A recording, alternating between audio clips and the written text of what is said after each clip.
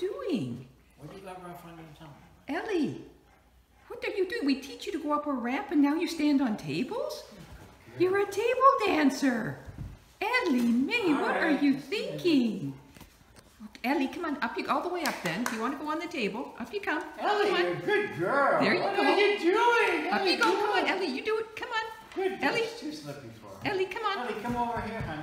Come on on this one. Come on, Ellie. Up you come. No, don't finish. She'll slip. She'll hurt her. Ellie, Get that. Look at Ellie, you. come over here. Show Ellie. Ellie. over here. Ellie, come. look at you. Look at you. You're so smart all of a sudden.